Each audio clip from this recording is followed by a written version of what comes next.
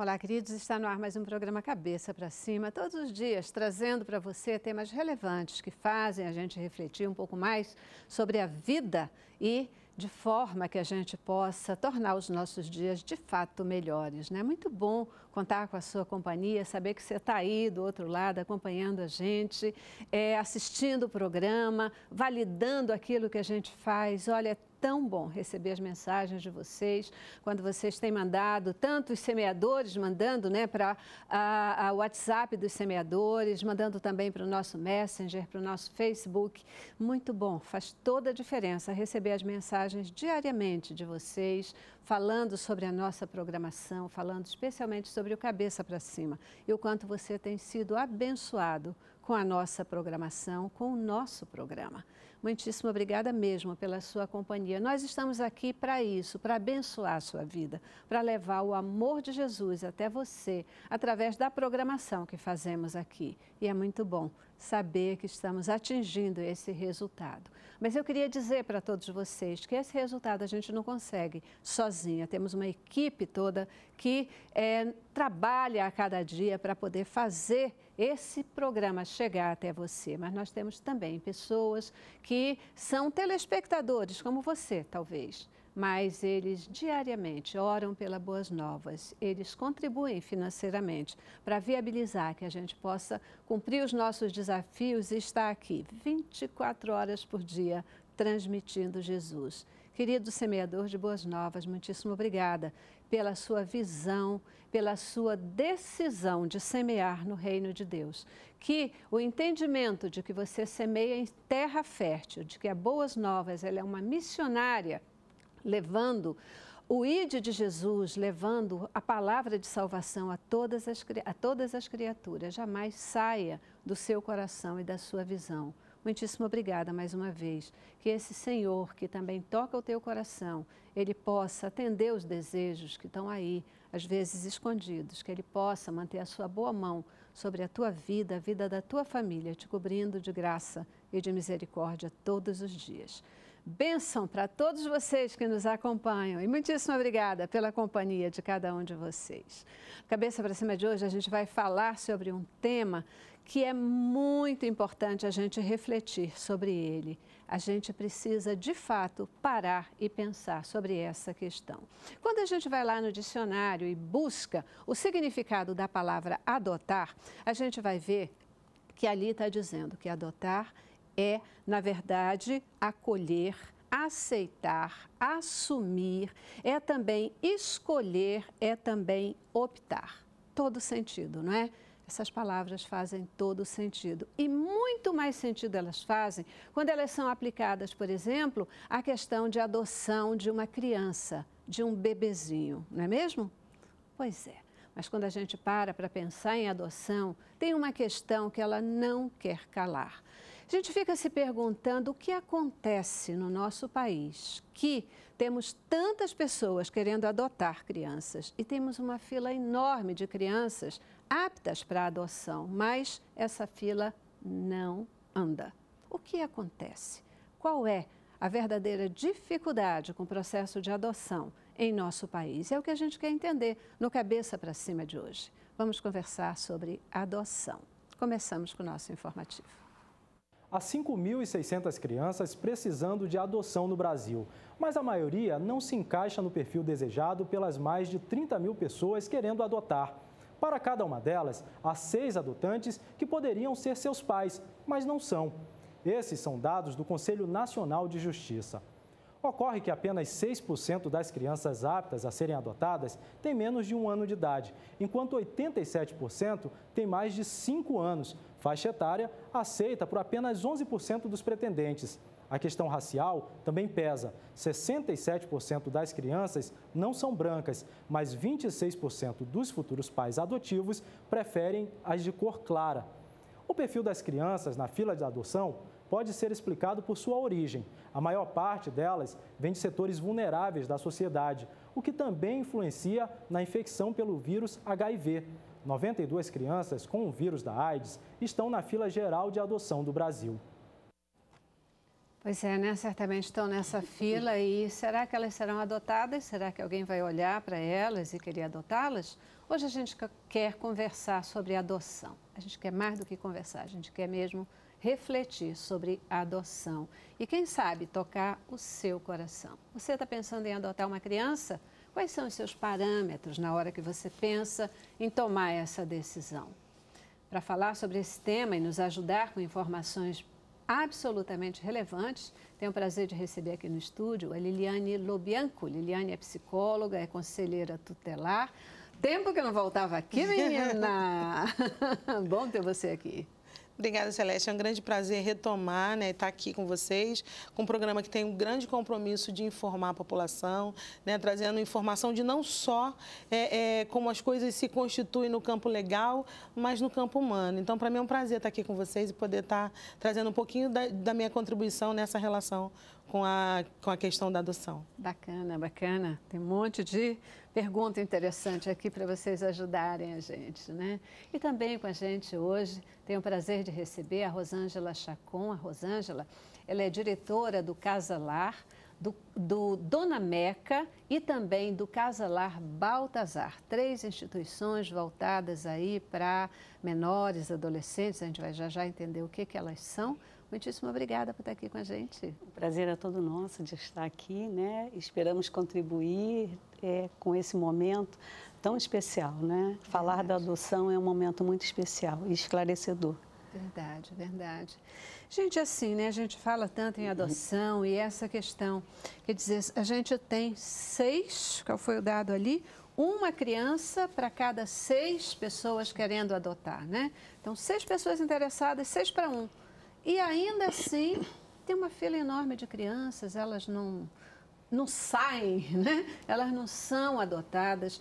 É, é, é, é, o nosso sistema de adoção aqui no Brasil, ele comparado ao resto do mundo, como é que é? Ele é muito complicado? Como é que é isso?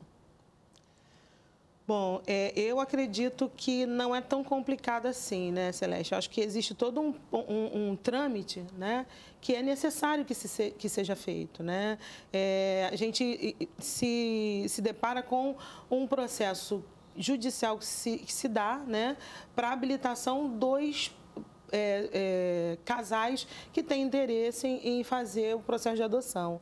E aí tem todo um trâmite que eu acho que deve durar aí em torno de oito meses, um, no máximo um ano, para que esse casal se torne apto a adotar uma criança. Eu acho que é o período de uma gestação, uhum, né? Uhum. É, e, e, assim, a gente ouve muito as pessoas falarem da burocracia, né? Eu estava vendo aqui, a gente estava tava observando é, o texto que iniciou o programa e, assim, foi, foi muito feliz o, o, o jornalista que, que, que fez o que, tava, que, que trouxe as contribuições, porque ele fala né, dessa dificuldade do perfil uhum. né, traçado pelas famílias. Né? E aí, mais adiante, a Rosângela pode falar um pouco que ela está nessa relação direta lá no, no, no, abrigo com as, com as crianças.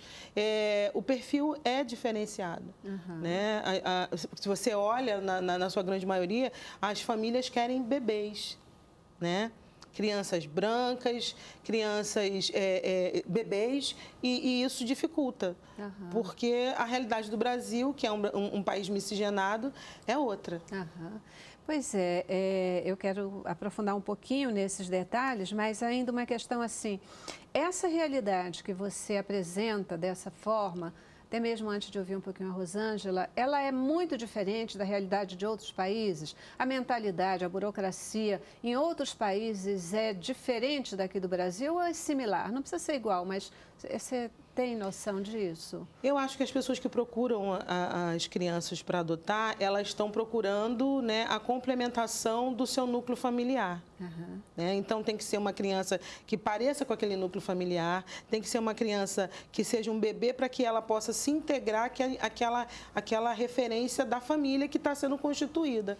Só que a, a relação com a adoção, ela é muito maior. É para além só da semelhança física, é, a adoção é um ato de amor né? Uhum. Quando você adota, você traz para você aquele ser, aquele indivíduo e a palavra, né, você estava caracterizando o que, o, que, o que, que a gente entende como adoção, é trazer para essa relação de proteção, é trazer para essa relação de cuidado, é, proteção e zelo, né, e integrar independente da, da, da, das referências né, do nosso desejo, do nosso ego. É, uhum. é, exercitar essa relação de amor e cuidar independente da, da idade, independente da cor. Né? Uhum. É escolher estar com aquele ser e conduzi-lo pelo caminho que tem que ser conduzido. Escolher, adotar, assumir. Eu gostei muito das definições uhum. né, do dicionário, porque eles já dão uma direção né, uhum. para o que, que é esse processo de adoção. Você que lida com esse dia a dia né, da realidade dessas crianças, é, como é que você vê esse, o processo de adoção no nosso país? Ele facilita, ele dificulta? Salete, eu, eu hoje vejo como assim muito mais facilitador do que anteriormente e com muito mais segurança, tá? Até porque o que, que ocorre quando uma criança ela chega no abrigo, né? Eu vou te dar um exemplo. Se ela chega direto da maternidade, a mãezinha vai à maternidade, tem a neném, deixa a neném lá. Muitas vezes até sem registro tá? Uhum. Então, o que, que ocorre? Essa criança, assim que ela recebe alta, ela vem para a instituição, vem para o abrigo. Ali, quer dizer, passamos nós a ter toda a responsabilidade daquela criança. A maternidade deverá ter dados dessa mãe. Uhum. Então, o que, que cabe ao Ministério Público? Né? É a verificação desses dados né? Na verificação desses dados dessa mãe, endereço, telefone, a equipe técnica do abrigo vai em busca desta mãe uhum. para saber as razões que a levaram a isso. E muitas vezes tem um pai, tem um avô que mesmo essa mãe omissa do compromisso dela materno, esse pai, esse avô, ele quer se compromissar. Não, eu quero pegar a guarda do meu neto, uhum. do meu filho. Né? E aí o que, que ocorre? É, a, o Ministério Público, a juíza, a promotora, a defensora, de maneira nenhuma ela pode disponibilizar, disponibilizar essa criança para adoção uhum. enquanto ela não estiver segura tá? do abandono de fato, uhum. tá? enquanto ela não estiver segura. O que você está colocando, portanto, hum. é que essa decisão de deixar a criança, né? Eu nem quero usar deixar a criança, é. não. De é, dar essa criança para adoção, de, né?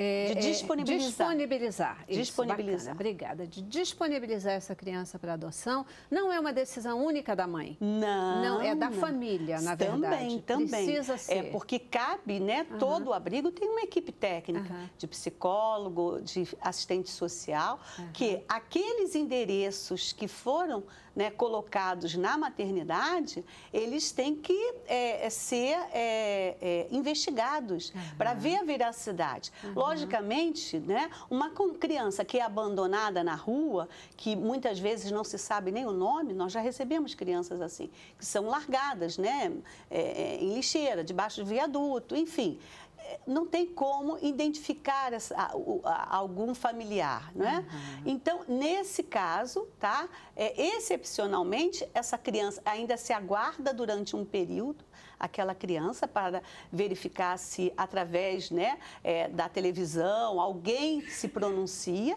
Caso isso não aconteça, aí, né, logo a seguir ela vai. Né? Nós tivemos casos, né, e não foi um nem dois, é, de crianças que foram abandonadas aqui no Rio de Janeiro e o tio, é, é, um avô no Nordeste, em João Pessoa, no Rio Grande do Sul, em Salvador, né? que uhum. são as famílias extensas, é, requereram, uhum, tá? Uhum. E aí, quer dizer, tem um trâmite que a juíza, né, nem, a, nem a promotora podem é, inicialmente é, é destituir a uhum. família, tá? Para que realmente possa haver adoção. Da então, sua responsabilidade. É, é né? porque é, anteriormente, é, quando, né, há muitos anos atrás, onde nós chamávamos os abrigos de orfanato, tá? Então, eram os típicos orfanatos. O que, que, que, que acontecia? A criança ficava é, nos orfanatos e não se tinha notícia, uhum. né? Então, hoje, é, o processo já é completamente diferente. tá? Essa mãe, mesmo com todas a, a, a, as dificuldades, seja por negligência, por maus tratos, antes de ir para adoção, ela é ouvida em audiência, uhum. tá? Muitas vezes, porque a, a primeira a, a, primeira questão da criança é ficar com a família, né? E dúvida. não ficar para adoção. O primeiro direito dela é estar no seu núcleo familiar. Perfeito. Tá? A partir disso, sim, né, é que é, toma-se outras medidas. Se não tem ninguém, não tem uma família, a sua família é ali pronta para uhum. acolhê-la, então busca-se um outro núcleo de acolhimento, efetivamente Sim. de acolhimento, né?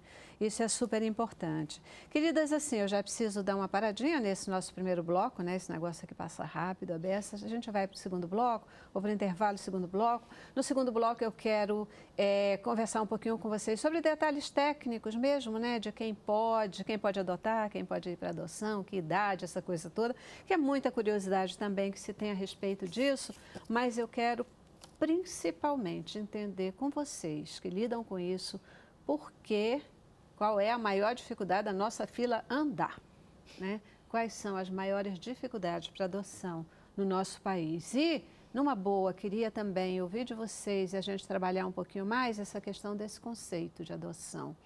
É,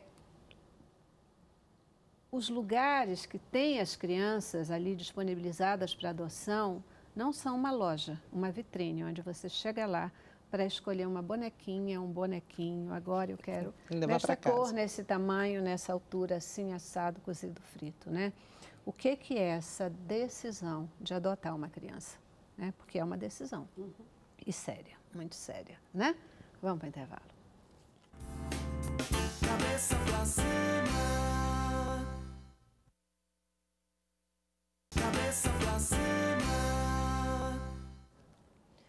Hoje a gente está aqui conversando com você sobre adoção, né? um tema que merece muita reflexão. A gente tem hoje é, é uma criança para cada seis pessoas que desejam adotar. E ainda assim, né, a fila está lá, e uma fila que cresce, uma fila que não tem jeito. E a gente quer descobrir hoje por que, que essa fila não anda. Mas olha, antes de voltar a conversar com as nossas especialistas de hoje, eu queria dizer para você, você que gosta dos hinos, gosta de é, hinos mais tradicionais, você agora tem uma alternativa sensacional. É o novo app da Harpa Cristã. Você vai procurar por Harpa Cristã Digital. Esse app ele é comemorativo dos 105 anos da Assembleia de Deus. Você acabou de curtir aí pela Rede Boas Novas.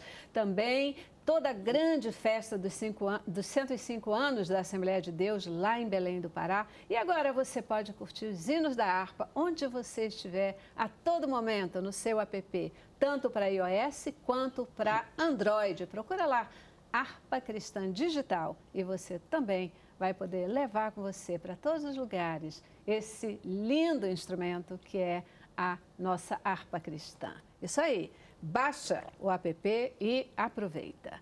Gente, falando em aproveitar, vamos nós aqui, quero aproveitar vocês, né?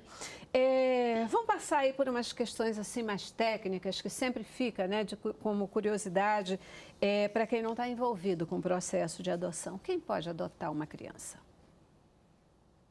Quem pode adotar? É, casais, uhum. né? Solteiro é, não pode? Solteiro pode, uhum. solteiro pode, né? Tanto homem quanto mulher? Tanto homem quanto mulher, uhum. né? Só é, tem toda uma normativa de documentações que tem que apresentar isso regularmente, né? No momento que está tudo ok, né? Ele recebe o certificado de habilitação. Então, casais, uhum. né? É, solteiros, maiores de 21 anos, é, casais homoafetivos uhum. também podem fazer adoção, tá? Uhum. Perfeito. E assim, é, tem que ter alguma faixa de renda, tem algum tipo de remuneração especificado para poder adotar? Tem que trabalhar? Tem, como é que é essa questão financeira? É, é lógico que tudo isso é levado em conta, uhum. né? Porque se você vai fazer uma adoção, é, como disse lá no início, você tem que acolher, você tem que cuidar, você tem que é, manter essa criança financeiramente. Então, logicamente, você precisa né, apresentar é, contra-cheque, apresentar que você uhum. é uma pessoa que trabalha, tem uma renda, né? Uhum. Que você tem como é, manter essa criança, tá? Perfeito, tá? Então, é, é feita uma visita técnica, né? De uma equipe também da, da vara de infância, uhum. a residência dessa pessoa, para poder analisar, ver, uhum. enfim, né? Que são, hum, logicamente, é, documentações e trâmites que a gente considera normais, né? Perfeito. né? Já que é, cabe à justiça entregar né, aquela criança, não é? ela tem que se ressalvar de quem é aquela pessoa, de quem é aquele casal, de quem é aquele indivíduo que ele está ali é, é, é, atestando que é capaz. Perfeito, eu acho é. perfeito. É, a decisão, inclusive, assim, de se ter um filho, ela deve passar por esse aspecto uhum. de responsabilidade, né? De você ter condição de criar, é, é. né? De você ter condição de alimentar, de educar. A gente não pode também ser irresponsável uhum. a ponto de sair por aí botando filho no mundo se a gente não tem condição de é, é, é, dar condições de vida para essa criança, né? De, de, nessa questão mesmo. Vestir, cuidar, abrigar, alimentar, educar, isso faz parte uhum. de todo esse processo. Então, eu acho que é justo, normal e adequado que se tenha isso mesmo. É, tem né? uma coisa, Celeste, que eu acho importante, que, porque assim, a gente, a maioria das pessoas são o senso comum que estão vendo o programa. O que, que eu faço se eu quero adotar? Uhum. Né? Procuro o conselho tutelar? Pode até procurar para a gente orientar, mas o Conselho Tutelar é um órgão não jurisdicional e esse trâmite é todo feito pelo pelo caminho judicial. É, né? Então, a pessoa precisa procurar a vara da infância da sua área de, de, de, de competência, de abrangência, é, vai é, receber uma lista com os documentos que, que serão pedidos pela juíza da vara da infância para que o processo se comece e inicie. É um processo judicial que se inicia para que no final desse processo aquela pessoa ou aquele casal seja considerado habilitado. Uhum. Né? Eles vão passar por a, a, Rosângela falou, por diversas entrevistas com a equipe técnica, eles vão frequentar grupos de apoio à adoção e depois que eles, que, que, que eles forem avaliados dentro desse processo, eles são considerados aptos à adoção, habilitados para adotar. Então, assim, é, é, é, meio que uma trilha, porque as pessoas ficam, né? Como que eu faço? Eu vou aonde, né? De que forma? Qual é o órgão? Eu vou no, no na assistência social? Não, é na Pronto. vara da infância. Vara da infância. É o local onde você vai lá para poder é, se habilitar, né? Se Isso. cadastrar e começar o seu processo. E até se no meio do caminho mudar de ideia, né? É. É o tempo que ele Aham. precisa, como a Lili falou, né? É o tempo dele de gestação, gestação. para que possa refletir, amadurecer a ideia, né? Perfeito. né? E não ir no momento realmente de impulso, Aham. não é aqui. É. é. Esse é o pior momento. Esse né? é o pior, é o pior momento. momento. É o momento de impulso. Tomar é. uma decisão de tamanha relevância. Né? E quem é que pode ser adotado? Quais são é, crianças, adolescentes? Quem entra nesse rol de é, quem pode se habilitar para uma adoção? Como é que é isso? São todas aquelas crianças que foram destituídas do poder familiar o né? que, que, é isso, Liliane? Os pais deixaram de ser pais, porque ou eles não quiseram, ou eles negligenciaram, ou eles cometeram algum fato que colocasse essas crianças em risco e não querem, não podem ser reabilitados na vista é, é, de, diante do, do, da autoridade judicial é, todas essas crianças que estão disponíveis de, é, é, de estrutura de poder familiar e disponibilizadas para adoção são as que vão para o Cadastro Nacional de Adoção para que os, as famílias possam acessar. Uhum. Tem idade limite? Não. Não. Não? É. Adoção não existe. Adoção vai até os 17 anos e 11 meses, uhum, né? Uhum. até porque é onde se considera aí a idade limite, né? A partir dos 18 anos ele se torna maior de idade pelas nossas legislações brasileiras, né? Portanto, então, a gente está então falando mesmo de adoção para crianças e adolescentes. É, de zero, zero, zero a adolescente. 10, 12, 15. Até 17. Até, Antes de completar 18, 18 né? anos. É. Porque aí ele já responde por, por si. Por si. É, aí é outra história. Deixa né? eu falar uma outra coisa, Celeste, que eu acho importante, sem interferir. Existe uma legislação né, específica para a questão da adoção. A Lei 12.010, para aqueles telespectadores que querem saber mais, podem acessá-la. 12.010 fala que. É, antes dessa criança ser disponibilizada, como a Rosângela falou, é, é tentado toda uma movimentação para que a gente ache alguém da família extensa, né, daquele núcleo familiar que possa, é direito da criança estar com a sua família, né? Mas no momento em que ela é disponibilizada, se esgotam é, as possibilidades. Se, esgo, se, esgotam as possibilidades, ela é disponibilizada, uhum, né? Uhum. Então a gente está falando exatamente desse universo de crianças que já passaram por uma série, por um largo processo judicial, né, com tentativas, às vezes, exaustivas de, de, de, de busca das suas famílias, de reintegração familiar, familiar. né? E, e, elas foram disponibilizadas para essa, essa demanda. Prioridade é habilitação nacional. Né? Se a criança não conseguiu ser habilitada dentro do território nacional, aí se pensa né, na, na adoção internacional. Internacional, perfeito. E olha só, eu quero depois voltar um pouquinho até para falar dessa, questão da adoção internacional, até por conta de tráfico humano, tráfico de crianças, mas já que você falou nessa questão de que é, é, esgotam-se todas as possibilidades aí de reintegração à família, não havendo mais nenhuma possibilidade, essa criança é disponibilizada, essa criança ou adolescente é disponibilizado para adoção. Agora, do ponto de vista da adoção, a criança foi adotada, ela pode ser devolvida? A legislação diz que a adoção é ato irrevogável. Mas a gente ainda se depara com algumas situações em que as famílias, né? É, porque na verdade, o que, que acontece? É, no momento que a, o Ministério Público ele decreta que aquela criança não tem mais condições né, de ser reintegrada, né, vai a juíza de menores vai em busca de uma família que tenha que queira o perfil daquela criança. Tá? Uhum. Quando isso é encontrado, essa, essa criança é apresentada a esse casal tá? e é feito um estágio de convivência se ela tiver acima de um ano de idade. Uhum. Se ela for bebê, não é? pela característica de um bebê de dois meses, três meses, esse estágio ele não, não é necessário, tá? Uhum. Acima de um ano de idade, o estágio é necessário.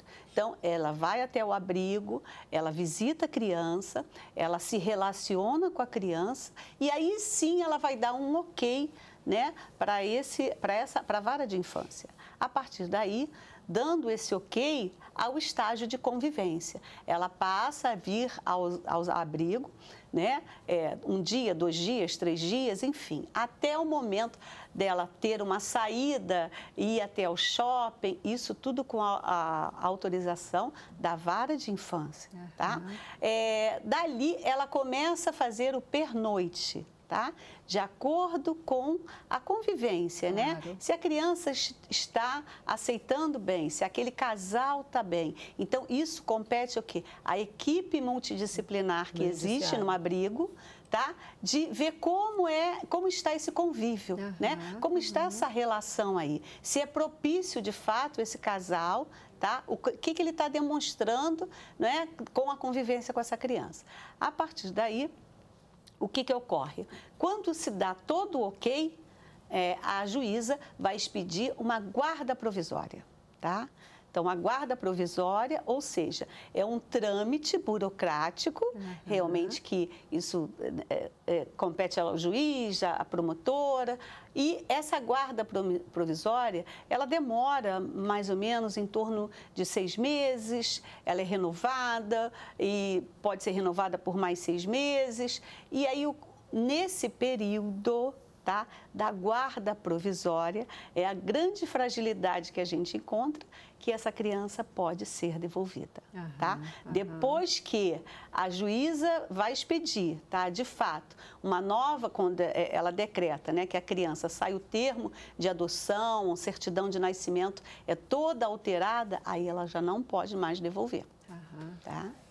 Mas às vezes a gente assim, se né? depara né? ainda, né, com umas coisas absurdas que acontecem e aí os, os que é de querer, né? De querer e aí é. ela, a, a, os, os, os, é, os os pais, né, que estão pretendendo a, a, adoção, acabam se, sendo responsabilizados também. Uhum, porque uhum. é ato irrevogável. Uhum, é tipo ter um filho, né? Sim. Aí não dá é, tipo ter um fora. filho natural, É né? como você Quer disse, dizer, não é né? tipo, é. é. É, isso, você teve um é, filho, é, é, o filho do coração. É, porque... Né? E, não dá, e, e filho não, não tem jeito. Você não escolhe o seu filho, né? Você exato, engravida e, né? e você tem, você passa os nove meses, poderá vir né, com algum problema de saúde, algum problema. Sim, né? Uhum. Qualquer grávida corre esse risco, né? claro. né? Então não dá para chegar no abrigo e dizer que quer escrever, dizer que era assim, assim, assim, entregar e dizer é, agora me entrega prateleira, assim. cadê? Prateleira, Vamos lá, cadê? deixa eu escolher, quero não, assim. É, não, não, não, dá, não, né? tem, não, dá. Tem. É da mesma forma que não dá para a gente fazer é. isso com o bebê que a gente uhum. vai gestar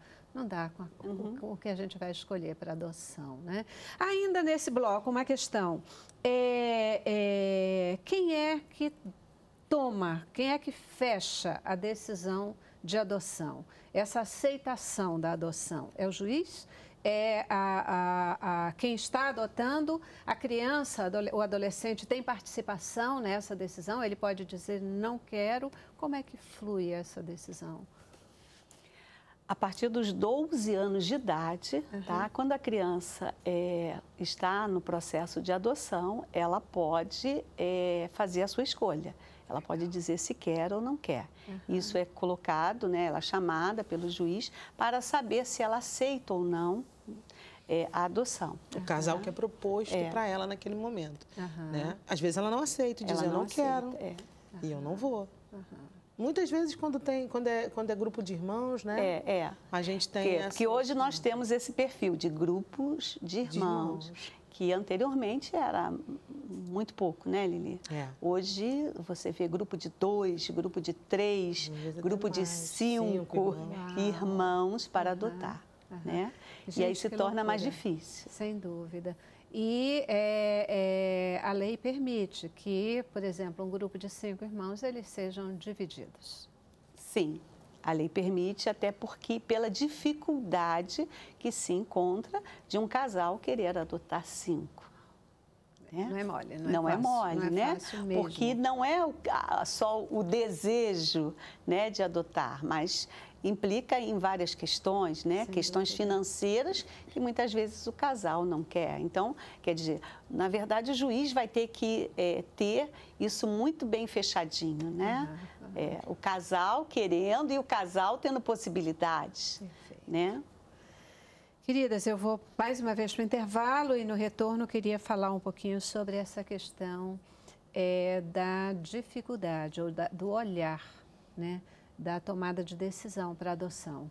É, aí sim, se der tempo, eu entro em outras coisas um pouco mais técnicas, porque essas técnicas a gente pode pegar nos sites, pode buscar informações, é bem mais fácil, né? Mas a gente falar sobre conceitos, é importante ter gente como vocês aqui, eu quero aproveitar vocês para a gente falar sobre isso, né? Essa tomada de decisão de adotar, como, como deve ser, né? Quando você é, é, pensa em adotar uma criança, como deveria ser esse caminho de busca, né? É a intenção, não olhar para a prateleira para a gente escolher qual bonequinho ou bonequinho que é, atende às minhas necessidades, mas talvez seja isso, né? O negócio é o contrário. Quem precisa de mim? Quem eu posso ajudar? Quem eu posso abençoar de verdade, né? Próximo bloco. Vamos lá. Cabeça pra cima.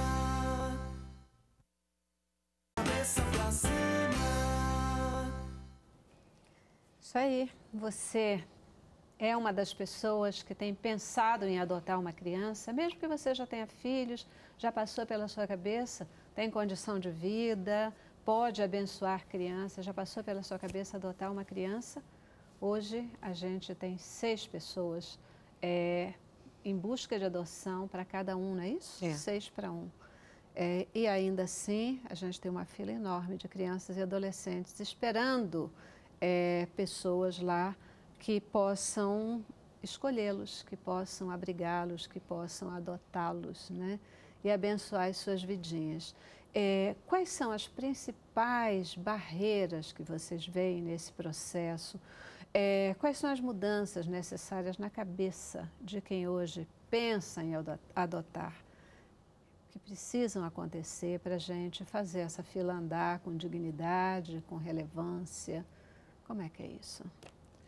É, é, muito, é muito, muito interessante, né, Celeste? Porque quando a gente é, se depara com um casal é, que está fazendo esse processo, uma pessoa que está tomando essa decisão de, de adotar, né, de levar para si, de trazer para si uma criança que não foi ge, ge, gerada né, é, é, biologicamente, uma, uma, uma, das características de grande é, é, é, relevância que a gente tem percebido é a ansiedade né?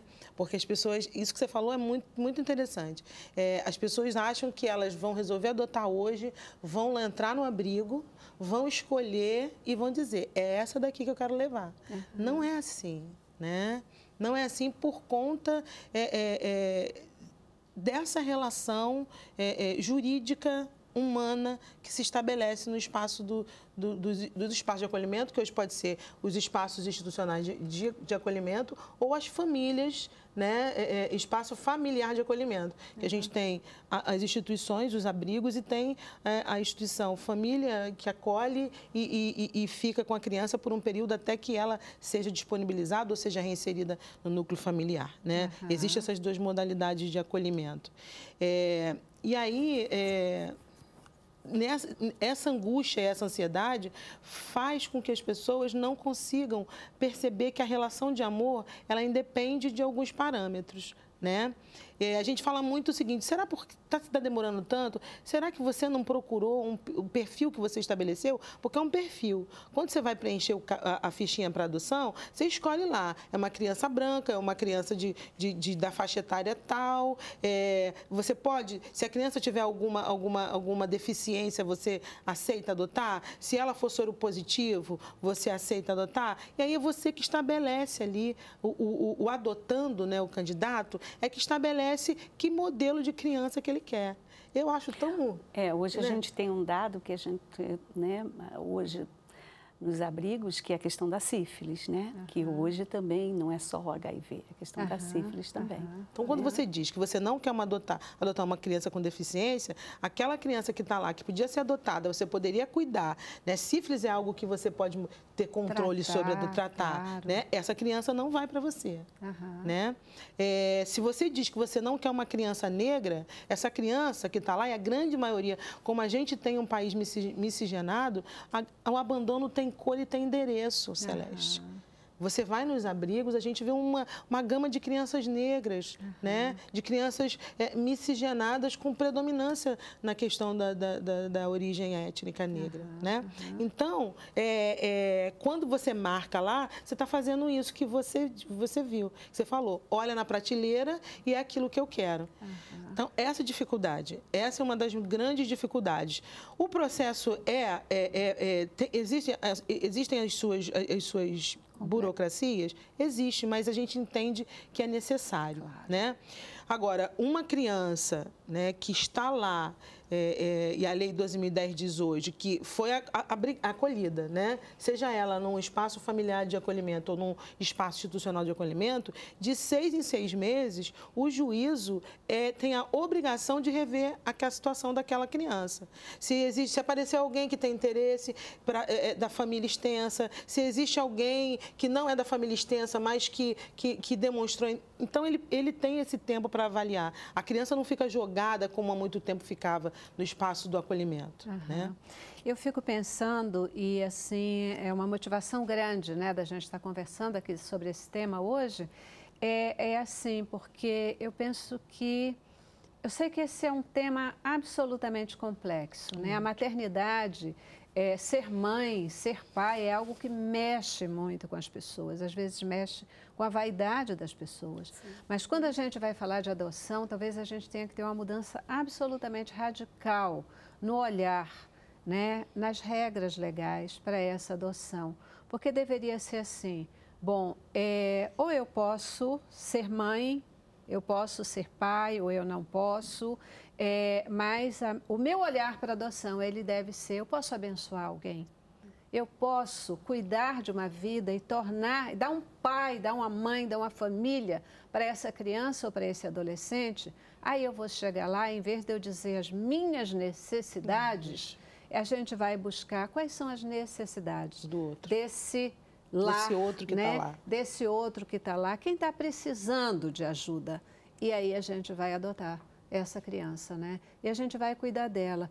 É, talvez isso resolvesse algumas questões que muitas vezes acontecem no seio familiar, de que se adota uma criança, mas tem às vezes por parte de um dos cônjuges um certo grau de frustração, né? Porque eu não pude ter um filho. Uhum. Né? É. E que às vezes isso reverbera para a criança uhum. adotada. Eu acho que isso resolveria aquela questão, que é uma pergunta, que até tem aqui que eu vou colocar para vocês. É, em que idade Existe uma idade certa para a gente dizer para a criança que ela é adotada? Existe.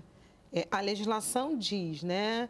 É, a, a, Lei 2010 diz que a criança, o adolescente, né, na fase da adolescência, em que ele consegue estar tá, tá no processo de discernimento de algumas questões, é, é, necessário que, se ele tenha desejo de, de saber, que o pai, ele, ele já tem esse direito garantido em lei né? Lei 12.010, que as pessoas chamam de Lei da Adoção. Ela tem um outro nome, tem, é, agora é a Lei do, do, Menino Bernardo, né? mas que as pessoas chamavam de Lei da Adoção.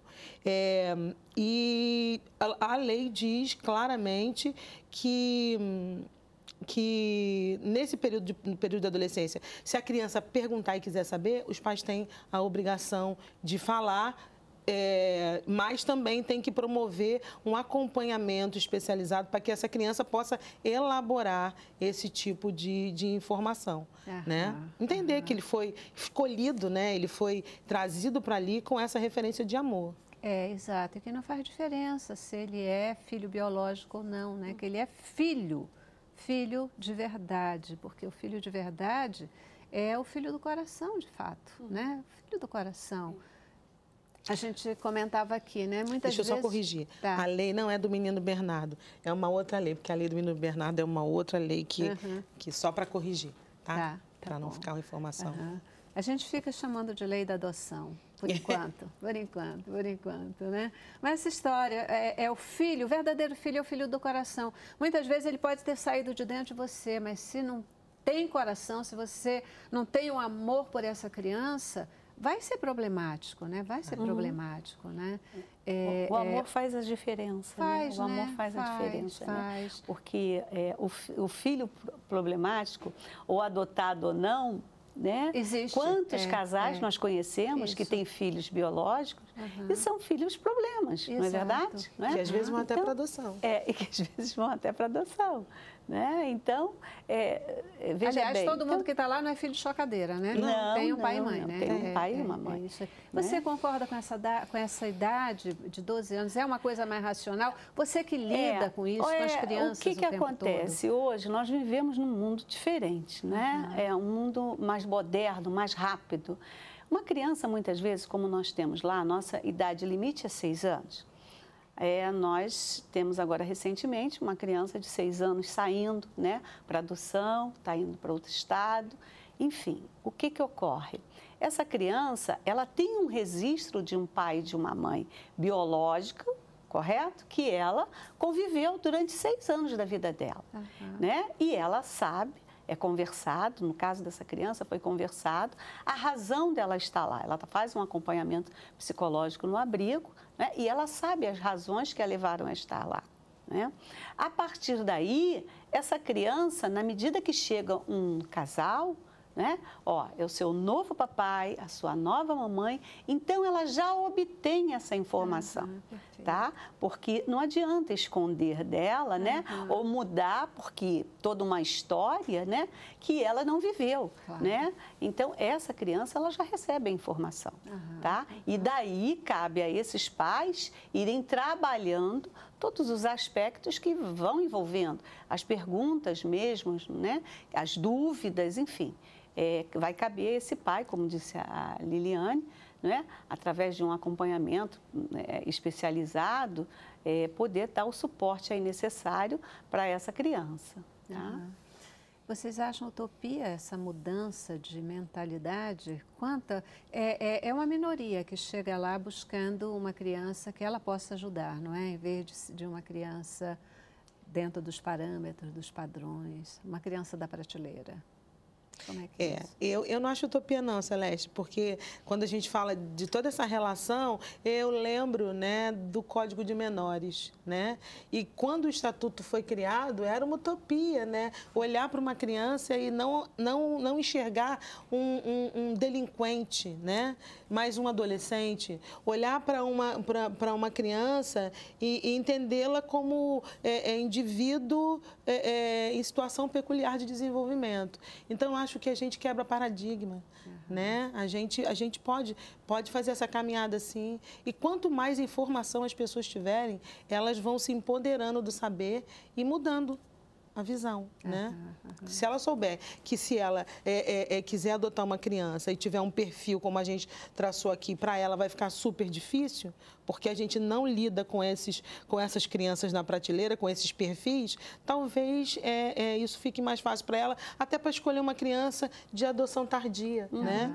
Uhum. Que seja além, é, é, com a idade mais avançada, que também está lá no abrigo, né? Está lá na, na, na, na, na unidade familiar de, de acolhimento também, que precisa receber é. esse cuidado e a proteção. Eu estava com alguns dados estatísticos que diz assim, né, que é, só 4,7% de pessoas buscam é, crianças acima de 6 anos de idade. Né? 1% buscam adolescentes. Você imagina? 1% buscam adolescentes, 4,77% crianças acima é, de 6 anos de idade. É, e, na verdade, tem uma, me permitam chamar assim, né, uma disponibilização uma oferta. 97% das crianças disponibilizadas, elas são, é, é, aliás, das pessoas que buscam adoção, elas querem crianças de 0 a 5 anos, mas só 8,8% dessas crianças têm de 0 a 5 anos. É uhum. duro, uhum. né? Por isso que a fila não anda. Não, Mas esses isso. dados têm que ser confrontados né? é. e, uhum. e, e, e, publicizados, né?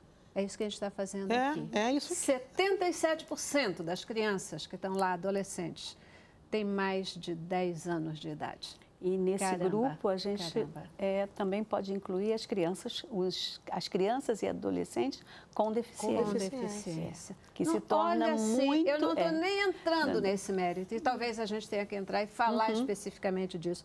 A, a, o propósito é a gente trazer os dados gerais para tocar o seu coração, para chamar a sua atenção e para chamar a nossa atenção, de todos nós, para esse fato tão relevante. Tem uma pergunta de telespectador que é importante, eu não quero deixar de fazer, não. O que, que acontece quando a criança que está no abrigo, está lá disponibilizada para adoção, adolescente, completa 18 anos e não conseguiu ser adotado? O que acontece com ela?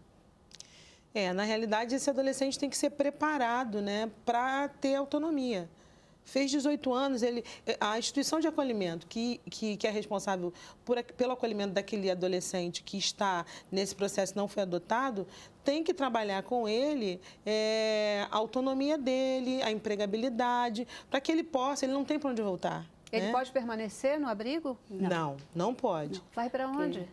Vai ter, a, a, instituição vai ter que ir junto fazer com um ele, trabalho, tra, fazer um trabalho para pensar é, a autonomia desse menino, dessa menina, fora do espaço de acolhimento. A equipe tem que estar, estar preparada para isso, para essas possibilidades, não é?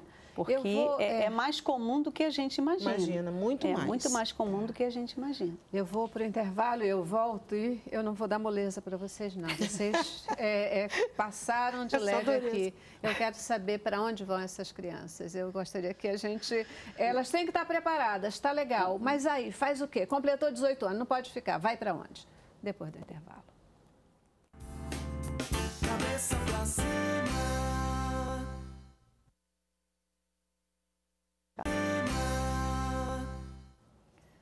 Gente, um tema fantástico, né? Um tema realmente que a gente tem que parar, pensar e certamente nós vamos voltar a ele porque tem muito assunto aqui para a gente conversar. Mas e aí? É... O que, que faz com as crianças, com os adolescentes que completam 18 anos? É, eles deveriam ser preparados para, é, para a sua autonomia. Né? Uhum. Mas se você me disser, Celeste, que existe hoje uma política pública que aponte para a absorção dessas crianças após o período do abrigo, de, de estarem no abrigo, período é, é, da, da adolescência, da infância e adolescência, eu não conheço, uhum. não existe. Okay. Né? Uma política pública, uma, uma, uma, uma como é que uma você estava falando? Uma, uma república, que, né? que absorve essas crianças, esses adolescentes já jovens, né? para que eles possam, por um tempo, buscar é, a sua independência, né? Uhum. da empregabilidade. no mercado não trabalho. existe. Né? Isso Perfeito. a gente pode falar porque a gente está no cotidiano interagindo com a, com a intersetorialidade das políticas públicas que não pensam nesse menino depois dos 18 anos, ou nessa menina menina, né? É isso aí, só que a vida continua, né? Uhum. Só que a vida continua. Ou Queridas... nessa adolescente com, com deficiência. Com deficiência. Aí, com deficiência, é, então é que é, você não... É, não existe. O que vai ocorrer é que ele vai mudar de abrigo, não é? é aí o Estado vai absorver por um abrigo acima de 18 anos. Qual? Né? É. Ó, oh, a gente não, não vai falar. Não existe, mas aí eu vou te falar, eu que me remonta Olha... lá o pensamento do Foucault que eu estava uhum. falando hoje cedo, né? E eu posso falar que eu sou conselheira tutelar, estou nessa relação de, de, de, fiscalização das políticas. É, a gente coloca todo mundo, a gente remonta essa, essa, essa, esse, esse, essa fala do Foucault, que é de colocar na nau dos loucos. Coloca todo mundo num, numa nau e coloca no mar para que eles ancorem aonde puder. Entendeu? Isso é muito desgastante, é muito difícil, mas eu acho que as pessoas têm que ter coragem de falar. Para a gente que está essencialmente no dia a dia trabalhando com essas crianças, né, é, falece o conselho. Essa, essa é uma linguagem jurídica. Falece o trabalho do conselho tutelar quando o menino faz 18 anos e falece o trabalho do judiciário quando o menino ou a menina fazem 18 anos principalmente se elas tiverem, se elas forem, se elas forem é, é, é, adolescentes, jovens com deficiência. Perfeito, gente. O nosso tempo de fato acabou. A gente tem que encerrar o programa aqui, mas a mensagem está dada. Eu acho que foi muito legal, muito bom conversar com vocês. Obrigadíssima pela presença de vocês. Ela já deu a mensagem final, vou te dar uma chance rapidinho para você se despedir. É, a gente agradece o momento de estar aqui e dizer né, para esses casais que eles estejam de braços abertos, principalmente de coração aberto para estar recebendo aquele filho tão querido, né? E filho querido a gente não escolhe, né? É a gente aí. engravida e tem, e né? Tem. E depois e, cuida. E depois cuida. Toca, ama, ama, ama de verdade. Ama de verdade. É, brigadíssima é. mesmo pela presença e participação de vocês, tá Obrigada. bom? Deixo vocês aqui é, e também o nosso telespectador que nos acompanhou com boa música. E quem canta para a gente hoje, encerrando o programa, é o querido Marcos Kinder. Paz.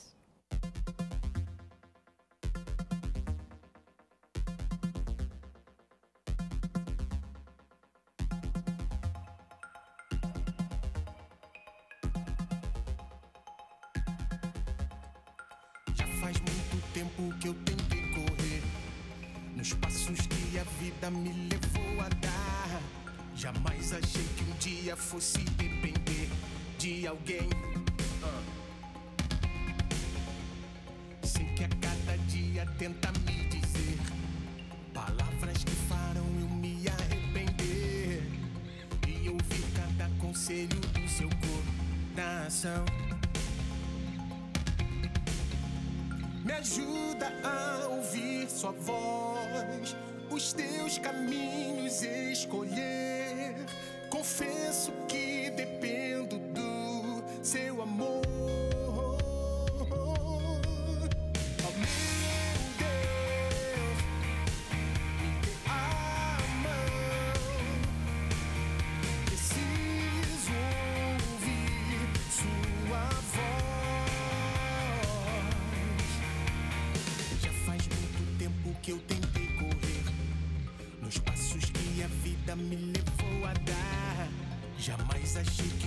Fosse depender de alguém.